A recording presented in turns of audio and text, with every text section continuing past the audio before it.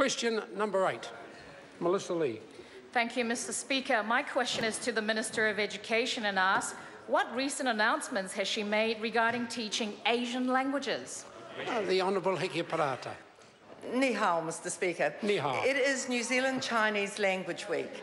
I recently announced in Auckland, alongside my colleague, the member for North Shore, Maggie Barry, the next round of funding for new or expanded Asian language programs at 63 schools across the country. A total of $10 million was set aside by the government in 2014 to provide two contestable funding rounds that would increase Asian language programs in our schools. In this most recent round, $2.36 million is being provided from the fund to the 63 schools who applied. I'm really impressed by the way schools are working together to share resources in teaching skills. Many are establishing links with language and cultural organisations, helping them to get the most out of the program. Supplementary. Supplementary question, Melissa Lee. To the Minister, how will this announcement support our young people to engage in the global economy? The Honourable Hekia Parata.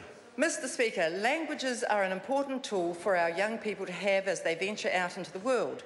Today's announcement is part of our drive to encourage and support our young people to truly become global citizens.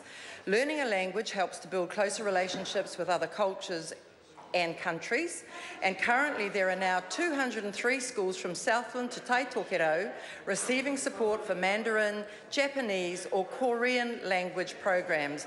Kamsamnida.